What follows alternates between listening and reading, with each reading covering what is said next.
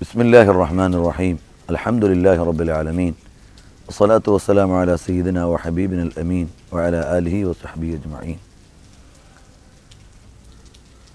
പ്രിയപ്പെട്ട സഹോദരങ്ങളെ പരിശുദ്ധമായ ഷഅബാൻ മാസത്തിലേക്ക് പ്രവേശിക്കുകയാണല്ലോ ഷഅബാനു ഷഹരി ഷഅബാൻ എൻ്റെ മാസമാണ് എന്ന് നബി സല്ലല്ലാഹു അലൈഹി വസല്ലമ നിങ്ങൾ പറഞ്ഞു എന്താണ് അതിൻ്റെ താല്പര്യം ഒരാശയം ഇങ്ങനെയാണ്. ഇന്നല്ലാഹു മലായിക്കത്തഹു യുസല്ലൂന അലൻ നബി. യാ അയ്യുഹല്ലദീന ആമനു സല്ലു അലൈഹി വസല്ലിമു തസ്ലീമ. അള്ളാഹുവും മലക്കുകളും നബി സല്ലാഹു അലഹി വസല്ലമ തങ്ങളുടെ മേൽ സ്വലാത്തുകൾ വർഷിക്കുന്നു. അല്ലയോ വിശ്വാസികളെ നിങ്ങളും നബി സല്ലാഹു അലഹി വസല്ലമ തങ്ങൾക്കുമേൽ സ്വലാത്ത് സലാമുകൾ രക്ഷാകടാക്ഷങ്ങളുടെ പ്രാർത്ഥനകൾ ആശംസയായി അറിയിക്കുകയും ചെയ്യുക. ഈ ഒരു ആശയം ഉൾക്കൊള്ളുന്ന സൂക്തം ഷഹബാനിലാണ് അവതരിച്ചത്. ഇവിടെയാണ് ഷഹബാൻ എന്റെ മാസമാണ് എന്ന പ്രയോഗത്തിന്റെ താല്പര്യം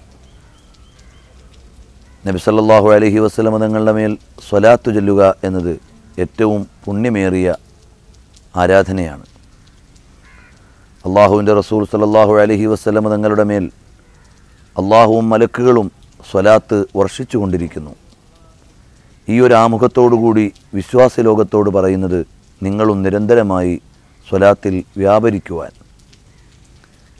മറ്റേതൊരു കർമ്മങ്ങൾക്കും ഇങ്ങനെ ഒരു ആമുഖം നൽകിയിട്ടില്ല. ഇത് ഈ വിഷയത്തിന്റെ പ്രാധാന്യത്തിലേക്ക് നമ്മെ ക്ഷണിക്കുകയാണ്. അള്ളാഹുവിന്റെയും മലക്കുകളുടെയും സ്വലാത്ത് വർഷങ്ങൾ കാരുണ്യത്തിന്റെയും ആശംസകളുടെയും അനുഗ്രഹാശിസുകളുടേതുമാണെങ്കിൽ വിശ്വാസികളായ നമ്മൾ ചൊല്ലുന്ന സ്വലാത്തുകൾ നമുക്ക് തന്നെ അനുഗ്രഹത്തിന്റെയും കാരുണ്യത്തിന്റെയും നിദാനങ്ങളാണ്.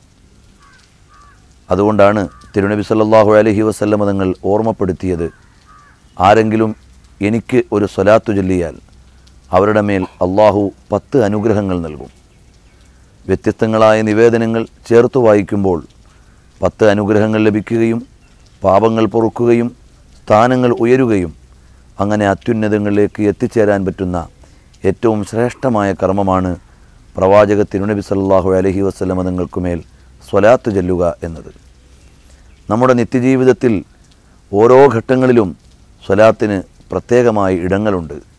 ഒരു വിശ്വാസിയുടെ ദൈനംദിന ജീവിതത്തിൽ നൂറുകണക്കിന് സ്വലാത്തുകൾ ജീവിതത്തിന്റെ ഭാഗമായി തന്നെ അവൻ ചൊല്ലേണ്ടി വരുന്നു.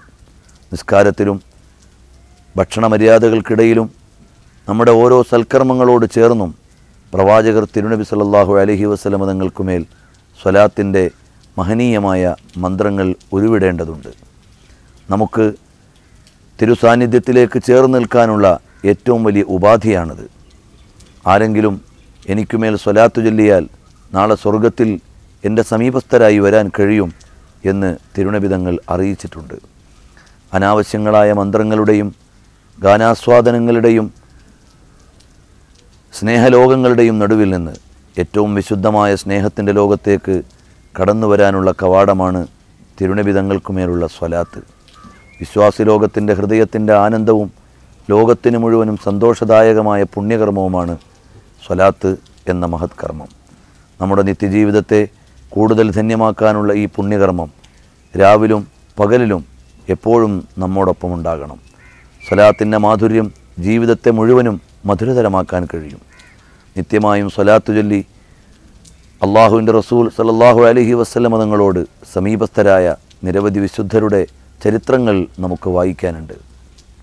നാളെ സ്വർഗത്തിൽ എന്നോടടുത്തവൻ ഏറ്റവും കൂടുതൽ സ്വലാത്തുകൾ ചെല്ലുന്നവനാണ് എന്ന തിരുസൂക്തത്തിന്റെ പരാമർശം നാം ഇവിടെ ഉദ്ധരിച്ചിട്ടുണ്ട്.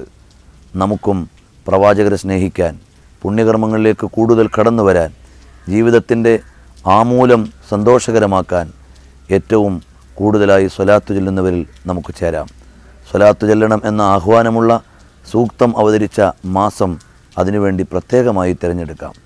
നിരവധി സംഭവങ്ങളുടെയും ചരിത്രങ്ങളുടെയും സാക്ഷ്യങ്ങളും ഓർമ്മകളും പങ്കുവെച്ചുകൊണ്ടാണ് ഷഹബാൻ നമ്മിലേക്ക് വീണ്ടും കടന്നു വരുന്നത്. ഷഹബാനിന്റെ ഓരോ രാപ്പകലുകളും ആരാധനാകർമ്മങ്ങളാൽ നിർഭരമാക്കാനും കൂടുതൽ അള്ളാഹുവിലേക്ക് ചേരാനുമുള്ളതാണ്. അത് മഹനീയമായ ഒരു സ്വാഗത നിർവഹണത്തിന് സാധ്യമാകട്ടെ എന്ന പ്രാർത്ഥനയോടെ എല്ലാവിധ സന്തോഷങ്ങളും. അസ്സാം അലൈക്കും.